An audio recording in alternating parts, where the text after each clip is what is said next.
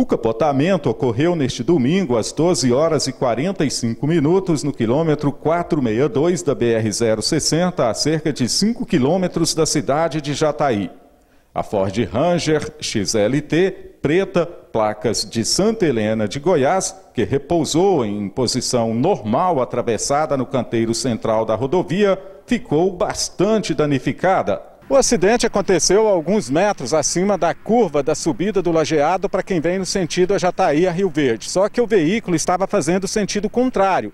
Ele vinha sentido Rio Verde a Jataí. Após ter capotado algumas vezes, acabou então repousando em posição normal no canteiro central das duas vias. Para se ter uma ideia da violência do acidente, a bateria do veículo veio parar exatamente neste ponto onde estamos, mas o veículo repousou um pouco acima. E se você observar, dá para se ter ideia também que até uma placa de sinalização foi arrancada e está um pouco mais para cá, entre o ponto em que eu estou e o veículo.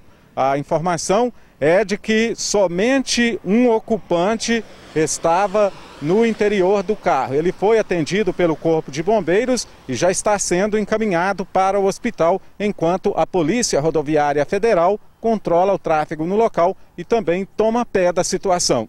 Partes do veículo se desintegraram e ficaram espalhadas ao longo da extensão do capotamento.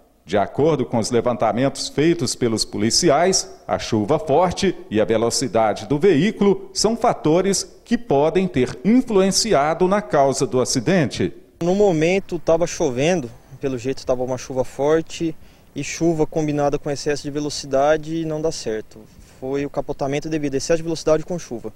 É possível que tenha ocorrido uma aquaplanagem? Bem provável. Esse trecho aqui é notória a aquaplanagem que dá nele e se as pessoas passam rápido, elas tendem a perder o carro e ir para o canteiro central. São frequentes, principalmente acidentes dessa natureza aqui? Isso, nesse, nesse local aqui, geralmente é quando chove, pode ter, ter acidente. Vocês chegaram a ter contato com o motorista? Tivemos, ele tá, o bombeiro já, já levou ele para o centro médico, ele está bem, está consciente, ele nasceu de novo. O que ele contou para vocês? Ele não consigo contar porque ele estava meio abalado, mas contou que perdeu, perdeu a, a dirigibilidade do carro. Familiares do condutor do veículo também compareceram ao local e recolheram seus pertences. De acordo com os bombeiros, ele sentia dores, mas aparentava somente lesões leves. No momento em que nós estivemos lá, é, ela se queixava apenas de dor no tórax, né? A princípio por causa da contusão, por causa do capotamento né, e o uso do cinto de segurança.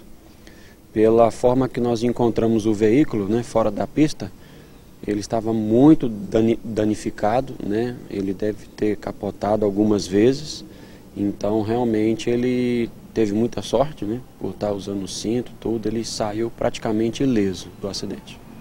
Aí, além disso, alguma outra pequena escoriação? Sim, nos pés né, e na mão esquerda.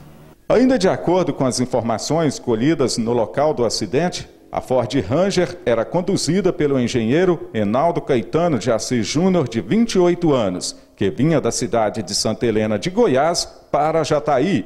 Após ter sido atendido no centro médico, ele foi liberado e está bem.